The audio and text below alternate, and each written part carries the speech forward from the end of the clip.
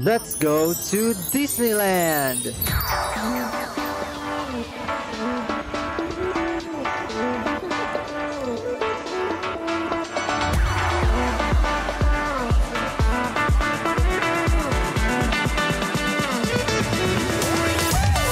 Hello and welcome back to Pierre Castillo channel.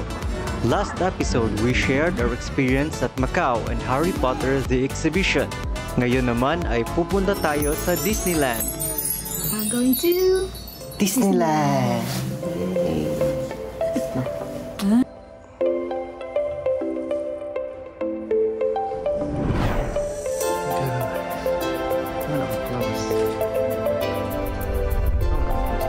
Galing sa Sanju Guest House sa Harilela Mansion, nagagahan muna kami sa Cafe de Coral, ang aming favorite na kainan na malapit lang sa Harilela Mansion.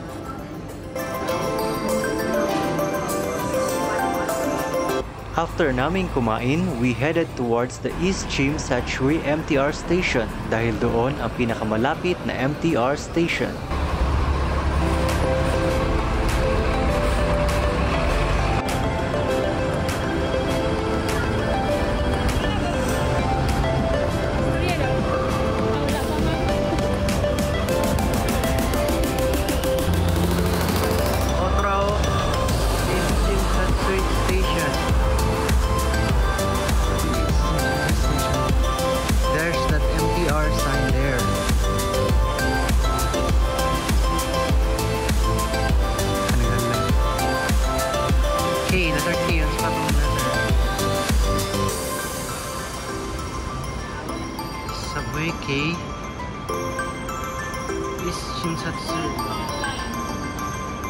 We recommend na mag-download kayo ng MTR app sa mga cellphones ninyo para guided kayo kung saan stations kayo bababa at magpapalit ng ruta.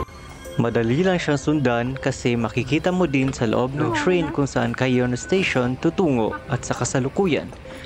Pati kung saan na platform kayo aabang ng train. Dito ay tinype lang ni Wifi kung saan kami na station ng galing at papunta. Tapos makikita na kung magkano at gaano katagal ang biyahe. In this case, from East Shim Shachoi to Disneyland Resort. Masusundan din natin dito kung ilang minuto ang agwat ng bawat station at kung magpapalit ba ng linya ng train at kung saan na platform tayo tutungo para sa next train.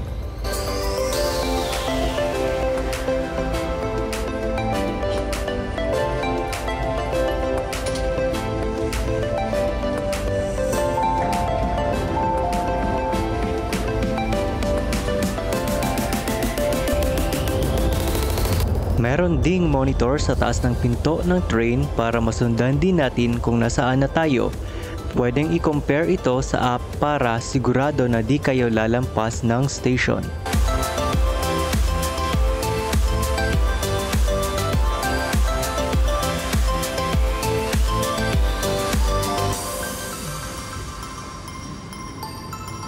Gumagalaw din ang dot sa app kasabay ng pagbiyahe nyo sa train kaya real-time ang monitoring kung nasaan na kayo.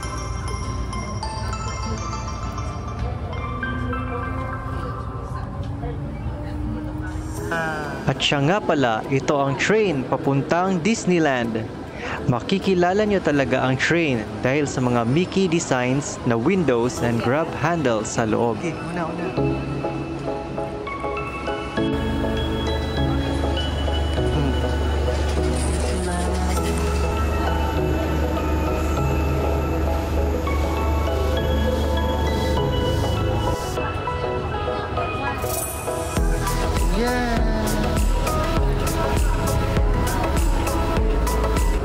nandito na tayo sa Disneyland Resort.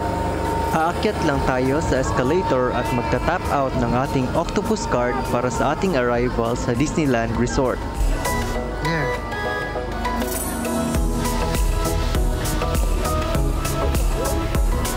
Siya nga pala, para makales, bumili kami sa Shopee ng Mickey Mouse headband.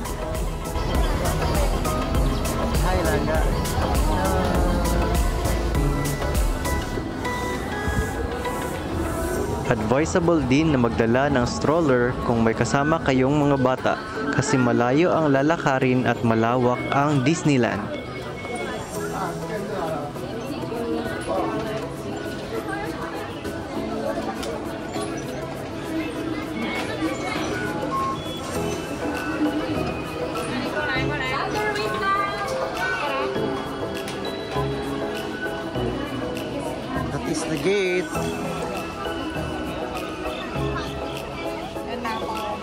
Ha? Ito ang famous Disneyland Resort Arc. Kung nais niyong magpa-picture na wala masyadong tao ay balikan niyo na lang later around 2pm or kapag nakapasok na lahat ng tao sa loob. At magsisimula na dito ang mahabang lakaran. Kaya wear comfortable shoes or footwear para enjoyable ang inyong Disneyland tour. Sa entrance ay merong fountain na nandyan si Moby Dick at Mickey Mouse kasama ni Donald Duck and Goofy kung hindi ako nagkakamali. Maganda din itong pagmasdan sa gabi. Dito ay hinanap namin ni Angel kung saan kami pipila. Merong mga staff and personnel na pwedeng mapagtanungan at meron ding mga signs and directions na maaaring makatulong para hindi maligaw.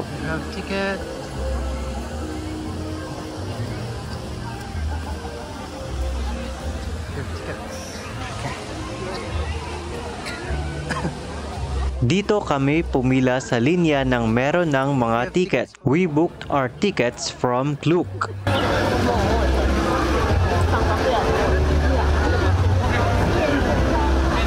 Excited na kami ni Wifey. Gates will open at 10.30 a.m. At meron ding early pass na pwede nang pumasok ng 9.30 pero mas mahal. Dito makikita natin ang mga naka-early pass na nagtatakbuhan kasi excited silang masakyan ang mga rides at ma-explore ang buong Disneyland.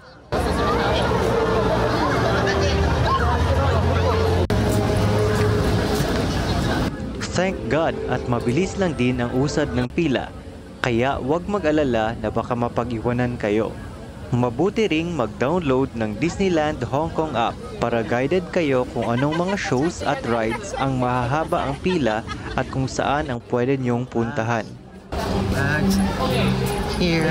Tickets. so you may enjoy Main Street USA. For your safety, please walk to your first destination. Thank you, and have a magical day. Open na. 10. I'm shook. It's 10. Sinimula na nila dito ang pag-scan ng mga tickets dahil sa loob ay dadaan tayo sa Main Street. Tapos mag-aantay sandali para buksan na ang mga lands na nasa loob ng Disneyland. Nagbigay pa sila ng priority sa mga naka-early pass.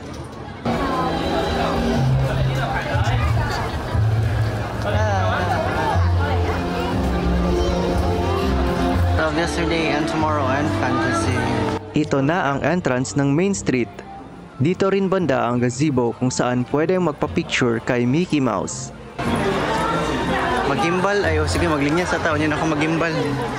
Nagsimula na silang pumila dito para magpa-picture kay Mickey Mouse.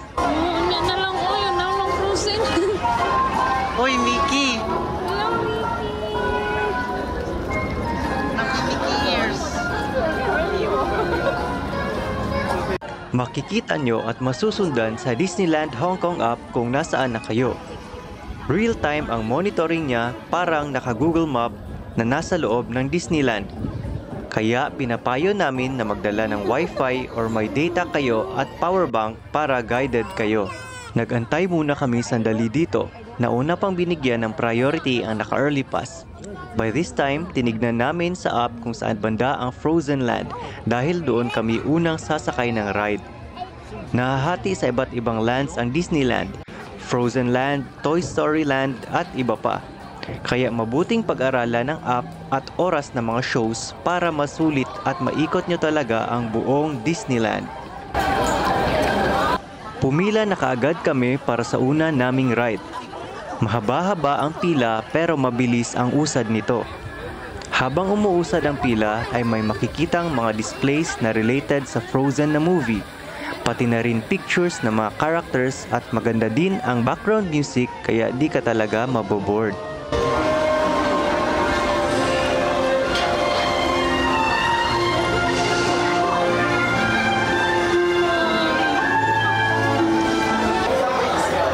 Hey, mura na rides.